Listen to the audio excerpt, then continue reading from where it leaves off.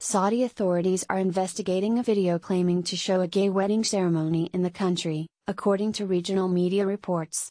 Footage of two men in Saudi dress walking down an aisle at an alleged wedding ceremony has gone viral in the Gulf Kingdom. Images of an alleged gay wedding in Saudi Arabia were circulated on social media and by regional news outlets. The footage caused a stir on social media, with conservative Saudis and others from the Muslim world condemning the wedding.